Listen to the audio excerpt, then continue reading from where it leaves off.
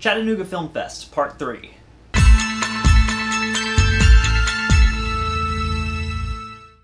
I poranta. Hekito e chara, hekite.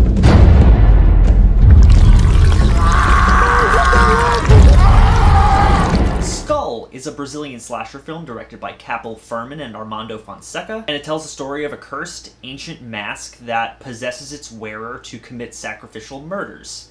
I didn't even know that this movie existed until the festival lineup dropped, and I had plenty of time during the entire festival run, so I decided to check it out. And you know, for what it is, Skull's a pretty good time. Truthfully, this movie didn't give me a lot to talk about, so this review is going to be pretty short. Skull is essentially a midnight movie. You're not there to see a good film, you're there to see the spectacle. And while I can't in good conscience call this a good movie, it's got plenty of spectacle. This is a low budget film, and it's exceptionally clear where all the budget went to, because gorehounds are going to love this one. It's packed to the brim with brutal, over the top kills done with incredible practical effects. Hearts are ripped out, faces are sliced off, someone is strangled with his own guts.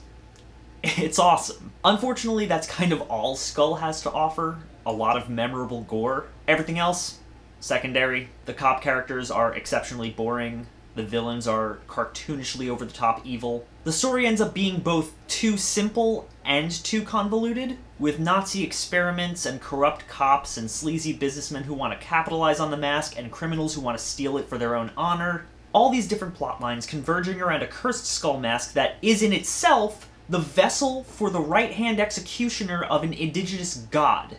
And yet, none of that stuff, none of those characters are even slightly memorable. You know what is memorable?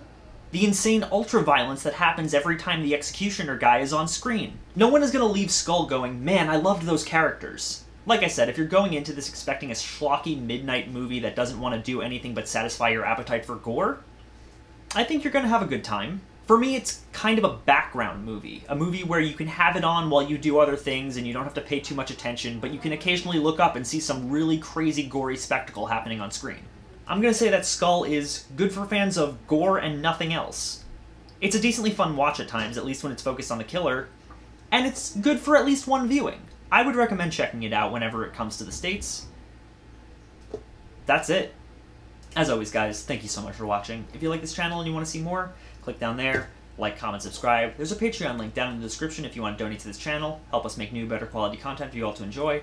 You'd be like all these cool people right here, and I would really appreciate it a lot.